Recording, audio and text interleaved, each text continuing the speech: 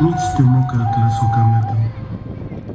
I kateliści, i panny, i kretu.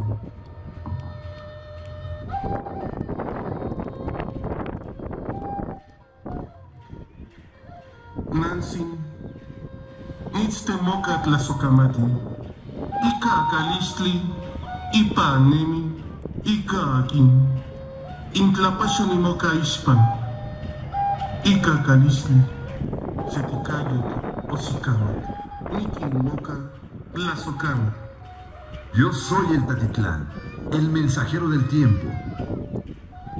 Los señores, los creadores del universo me dieron la oportunidad de trascender entre los tiempos para llegar a transmitirles este mensaje.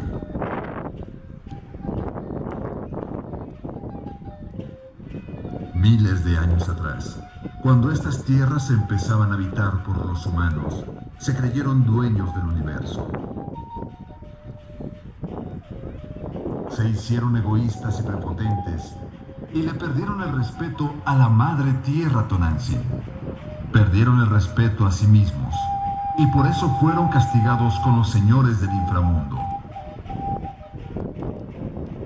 Con los señores del Mictlán, los de la muerte. Ellos oscurecieron el cielo y cubrieron al Padre Sol con la oscuridad. Todos entraron en penumbra y en pánico, pues al no saber qué hacer y qué estaba pasando, solo tenían temor.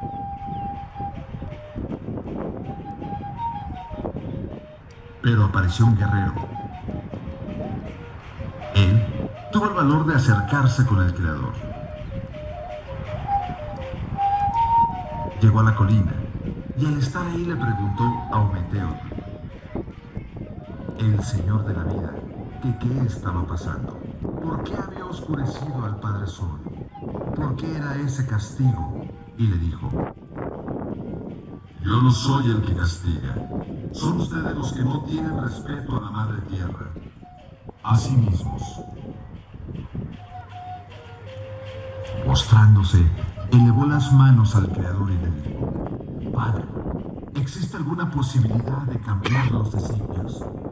Y le dijo, sí, pero tienes que ir al inframundo, allá, con los señores de Mictlán, los señores de la muerte. Pero ten presente que puedes perder tu vida. Pero si ellos te dan oportunidad, te dirán cómo cambiar los designios.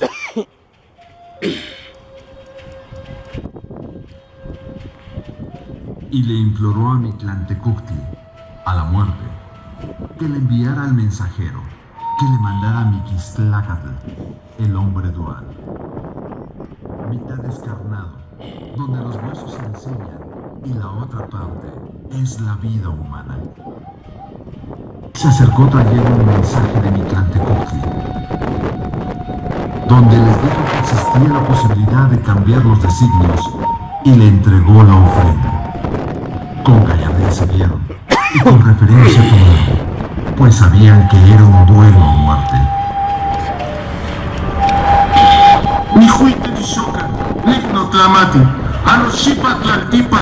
Sanashika Jenika.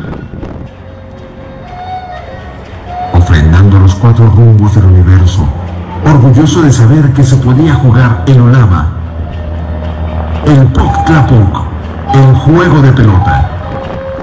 Para eso, le pidió el apoyo a las mujeres del alma blanca,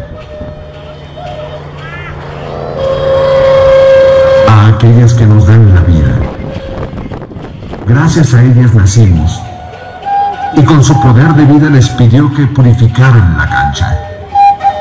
Mostrándose ante ellas, les mostró la señal que había mandado Mictlantecutli, que podían cambiar los designios de la tierra, el copal se extendió a los cuatro rumbos del universo. Nihuite Nishoka.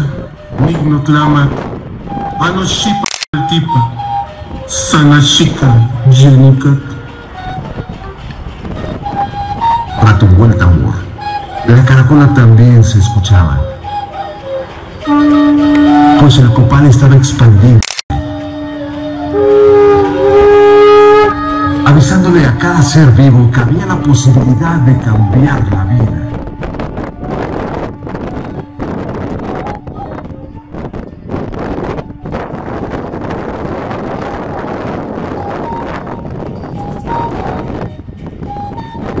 Nancy, nic temoka tlasokamati. Ika akalistli, ipa nemi, ika ankin.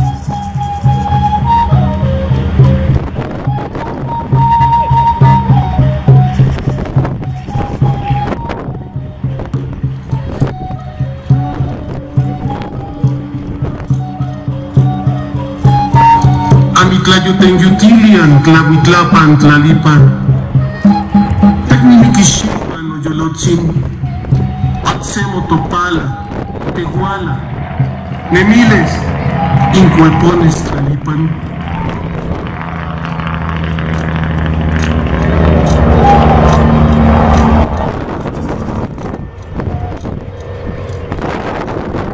Tienes cayotito toshimi. Tienes cayotito cuicame. Tienes cayotito matsegualistli toni.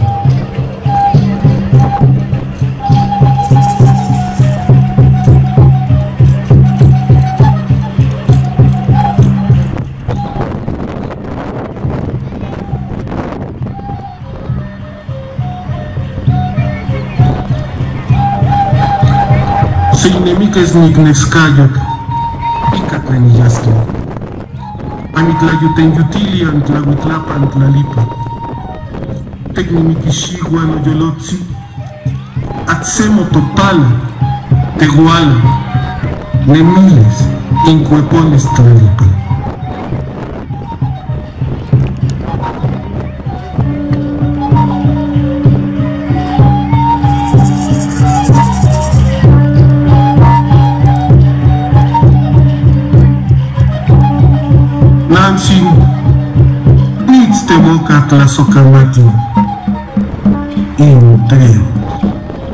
El copal se extendió por todos los confines del universo, pues se sabía que los humanos habían reaccionado y se iban a confrontar con los dioses, con los señores del Mictlán.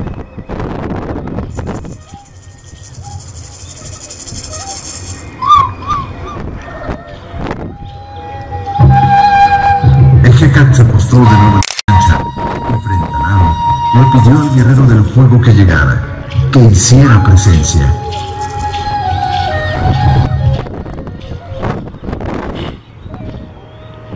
para comprobarle al Señor, al Padre Sol, que somos sus hijos.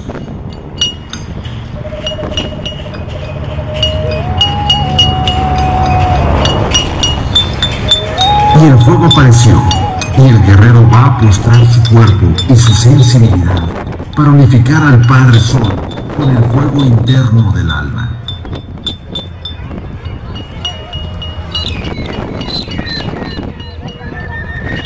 y el caracol retumbó, y al ritmo del latir de la tierra empezó la Xtontequis, empezó la danza.